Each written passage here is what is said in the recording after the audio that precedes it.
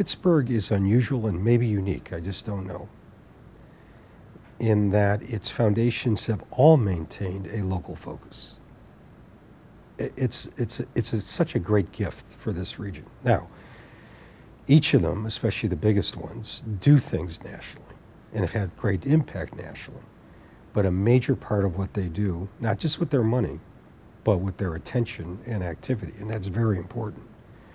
They've really maintained a Pittsburgh focus, and I think that's had everything to do with, with Pittsburgh's success over the last 30 years.